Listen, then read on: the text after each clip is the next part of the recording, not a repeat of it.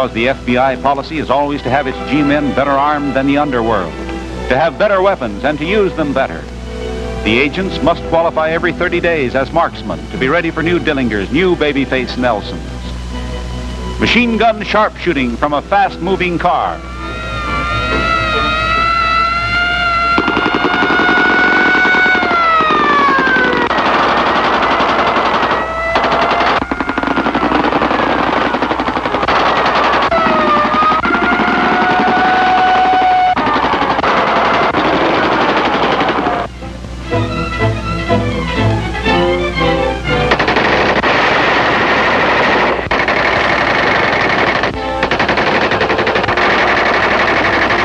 Hoover supervising field practice, and the target might be a gangster car.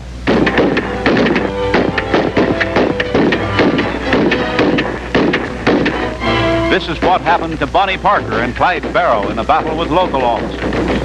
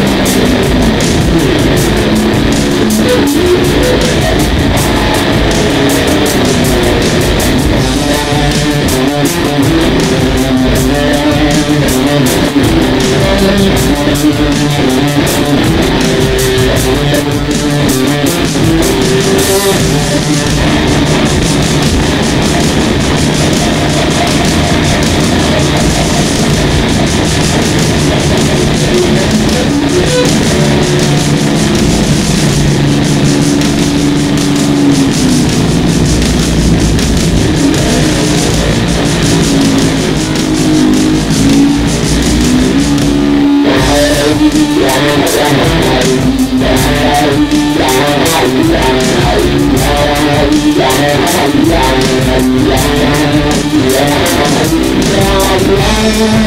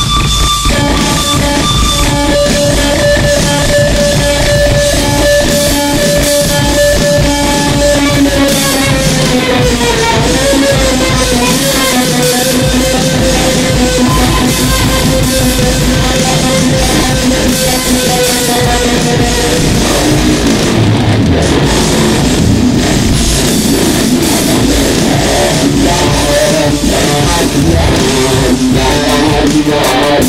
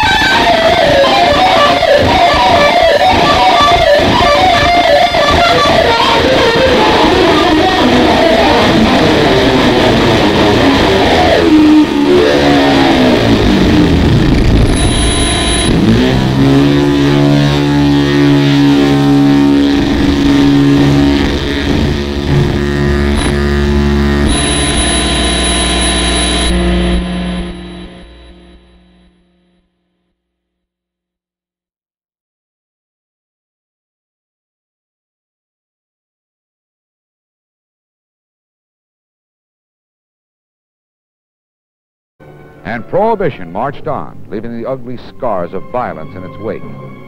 But the times were prosperous and the people carefree. They had packed up their troubles long before, and they seemed unaware of the new breed of gangster being spawned by the 18th Amendment. Al Capone was the cream of his crop. He was public enemy number one. And while the country was dry, his take was over $100 million a year over a lot of dead bodies. Prohibition provided an abundance of potential converts, and evangelists like Aimee Semple McPherson had a real field day. After 10 years, the nation woke up with a hangover, but it wasn't from bootleg whiskey. The stock market had crashed. The decade passed into history.